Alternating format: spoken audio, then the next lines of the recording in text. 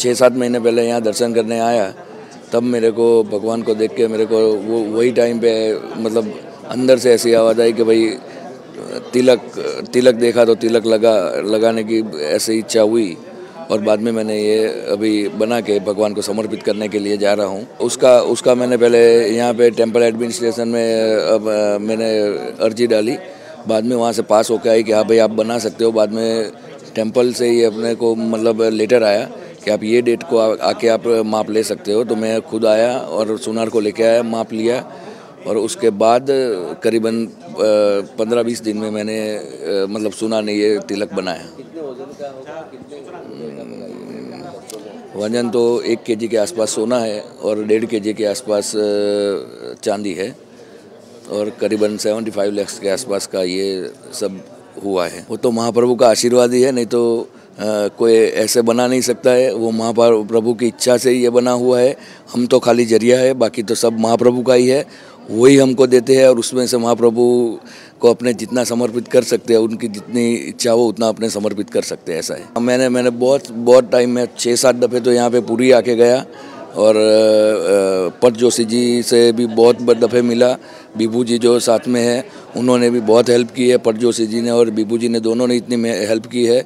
हमारे जगन्नाथ मंदिर, अहमदाबाद में जो जमालपुर में मंदिर है, वहाँ से भी मेरे को, हमारे महेंद्र भाई झा और दिलीप दासी महंत जी ने भी मेरी बहुत हेल्प की है ये ये मतलब ये करने के लिए।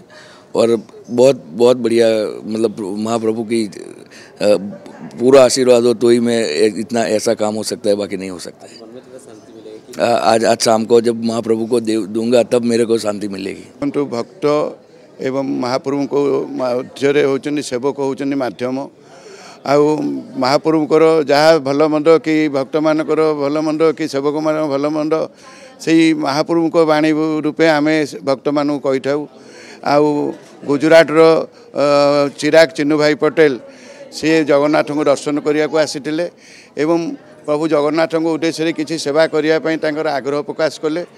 ତାପରେ ଆମର ହିଁ ସେବକ ହିସାବରେ ପ୍ରଥମ ଉଦ୍ଦେଶ୍ୟ କେମିତି ମହାପ୍ରଭୁ ସ୍ୱର୍ଣ୍ଣ ଅଳଙ୍କାରରେ ଭଲ କରି ଆଭୂଷଣ ହୁଅନ୍ତୁ କାରଣ ଏହା ପୂର୍ବରୁ ଯେଉଁ ଅଳଙ୍କାର ଅଛି ସବୁ ଠିକ୍ ଥିଲେ ମଧ୍ୟ ବହୁତ ପୁରୁଣା ପୁରୁଣା ହୋଇଗଲାଣି। ତେଣୁକରି କେମିତି ନୂତନ ଅଳଙ୍କାରରେ ମହାପ୍ରଭୁ ସୁଶୋଭିତ ହେବେ ସେଇ ଉଦ୍ଦେଶ୍ୟ ରଖିକିରି ଆମେ ମହାପ୍ରଭୁଙ୍କର ଉଦ୍ଦେଶ୍ୟରେ ଆମେ ତିଲକ ପାଇଁ ତାଙ୍କୁ ଯେତେବେଳେ ଏଇ ବିଷୟ- ବିଷୟରେ ତାଙ୍କୁ ଅବଗତ କରାଇଲୁ ତାଙ୍କର ବହୁତ ଆଗ୍ରହ ରହିଲା।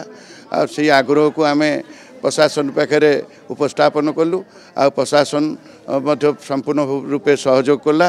ଆଉ ରାଜସ୍ଥାନରୁ ବଣିଆ ଆସିଲେ ବଣିଆ ଆସିକି ତାର ମାପଚୁପ ନେଲେ ଏବଂ ଆଜି ଶ୍ରୀ ଶ୍ରୀମନ୍ଦିର ପ୍ରଶାସନକୁ ଭଣ୍ଡାର ନାୟକକୁ ହାତରେ ସମର୍ପଣ କଲେ।